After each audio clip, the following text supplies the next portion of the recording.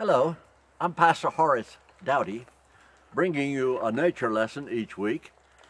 And if you enjoy this presentation or these, then I urge you, encourage you to sign up for my Horace Douty YouTube nature lessons. Uh, the way you do it is to click on like and then click on subscribe and then click the bell for notification. And that will help me keep these programs going. Today I want to talk to you about conversations with wildlife.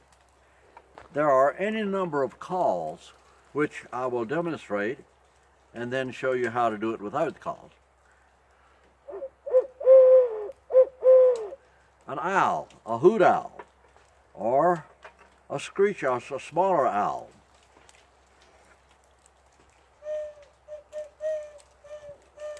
Or even a dove that can make that sound. Then the, the louder call is a goose call. And then, of course, the duck call, which is very common.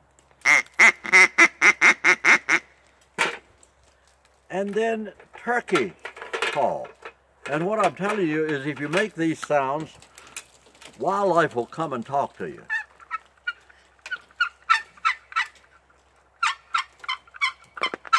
That's a small, a young turkey. And then you have a squirrel call.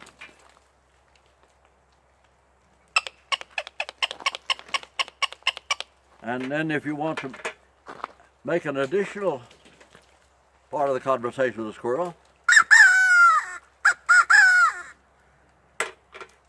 then of course crows will come very loudly and quickly to you if you if you use their language.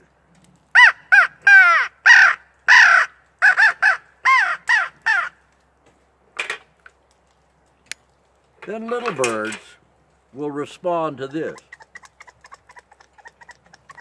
I don't know whether you can hear that or not, but uh, that was a sound. Then this is another sound that birds make.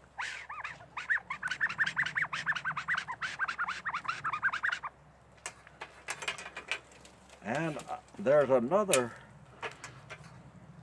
call that uh, that birds make that I, I don't seem to have it here with me, but it's very common. That is the call of a young deer, uh, usually in search of its mother. It's very much like the call of a, a young, uh, young calf.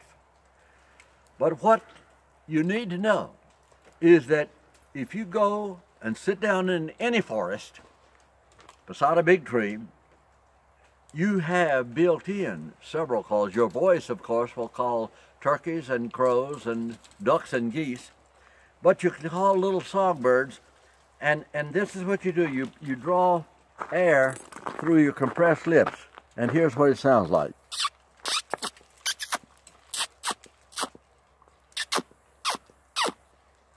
And you'll be amazed at how many little songbirds will be coming and come so close that you can reach out and touch them if you sit still.